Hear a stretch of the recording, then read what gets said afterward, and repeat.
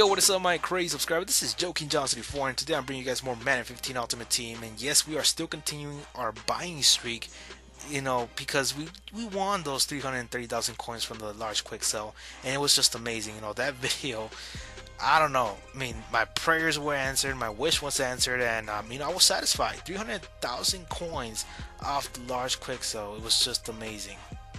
Anyways. So now we already spent it on Anthony Davis. We already spent it on Lavonte and uh, Anthony Barr. So um, now we're gonna go to another linebacker. Today we're gonna be looking at Luke Kuechly, and the reason why I kept my eye on Luke Kuechly is because he's so cheap compared to the positions who are like 95 overall and higher.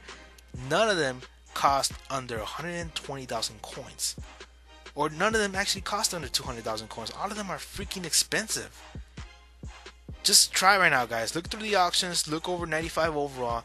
No one's freaking cheap like Luke Kuechly and Peyton Manning.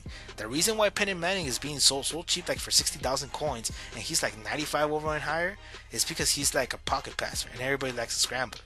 So that's why he's being so cheap. But Luke Kuechly, I don't understand.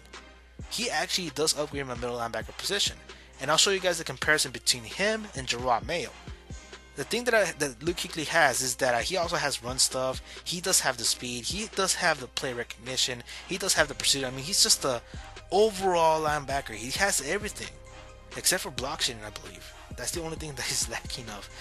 Oh, never mind. You can actually see it there. BKS. He does have more than Jerod Mayo. So, so yeah, I believe this is a good pickup. If you compare this guy to Ray Lewis, Ray Lewis is actually slower than Luke Kuechly but Ray Lewis has more pursuit and tackling, blah blah, and but still is the same overall. So I was like, I'm gonna take advantage of this. People be selling 95 overall cars for 80,000. I'm gonna buy them, cause goddamn, you know that's that's it. That's the last card you can get from that position. So there it is, guys. Luke Kuechly is now my team. Best run stopping middle linebacker besides Ray Lewis. Um, you know, this is just going to be a hell of a year.